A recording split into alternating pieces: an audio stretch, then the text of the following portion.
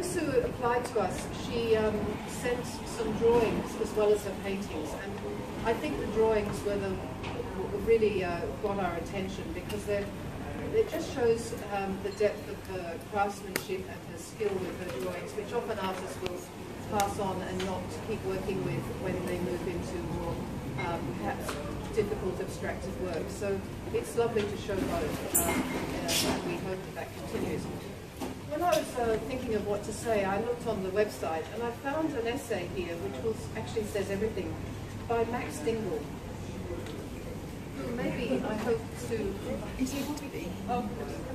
So in 2006 he walked into a gallery, not ours, Hazelhurst Gallery, and he was struck by the art being exhibited. And he purchased a triptych, which was um, for the Dingle Hughes collection, and that um, was, well, a collection that focuses on Australian women artists, and that has been bequested to the Shoalhaven Regional Gallery. And I thought that was really interesting in 2006, and um, it's a real pleasure that we now um, are sharing this Australian artist as well.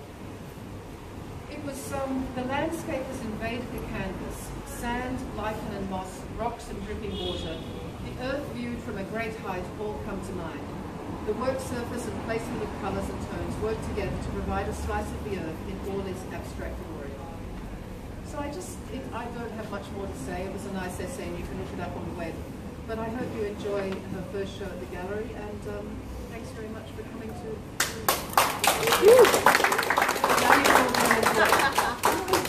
Hi.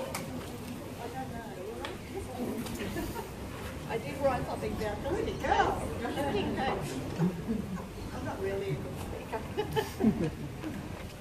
um, I just want to say I love working with landscape. I live by the ocean and over the last few years I've had a few trips to Hill End to explore a more bushscape. My last exhibition explored these trips. This exhibition, Topographic Terrains, combines these experiences of the bush along with the coastal landscape of the south coast where I live. On these trips out to the bush, I explore and experience the place, sketching and doing small studies. My paintings come from these small studies. The painting, though, is totally different process.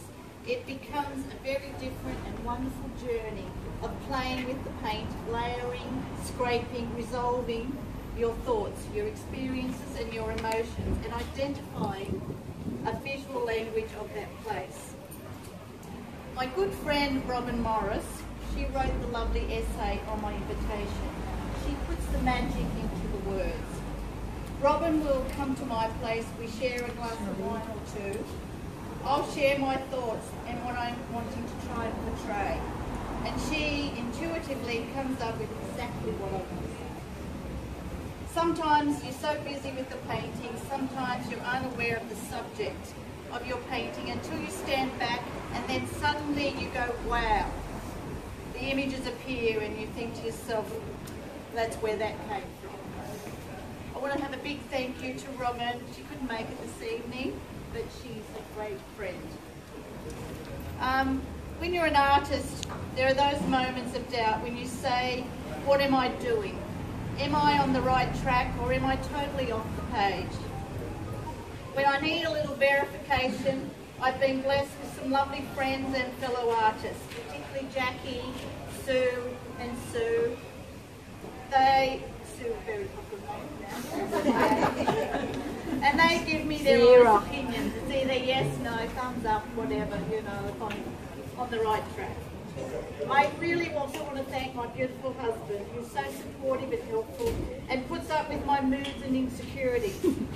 Often offers his very best artistic advice as he passes through my studio, and I've said this before to people, with words like juxtaposition, etc. He doesn't know many, but that's a good one. and often, well, if I'm run out of paint, he'll offer to hop on his motorbike and go and pick it up. He'll get the milk anytime as well. I also want to thank my family, my sisters and their children. They're my all my renter crowd, just in case no one else comes. I've got my beautiful daughter for her and son my studio. and have at times added little splashes of colour accidentally on the painting. they hate it like that. um, I wanted to thank Max Turnbull. He did say he will turn up. He might be a little bit late. Who's been a very um, very big supporter of my work and other emerging artists. Uh, he's become a very dear friend of ours and to my husband. I also want to uh, particularly want to have a big thank you to Frances and Lynn for inviting me to be part of their gallery. They've made me feel so very welcome. Sincerely want to thank everybody for coming along in this dreadful weather. Uh, it means so much to me. So everybody have a fill up your glasses, enjoy the rest of the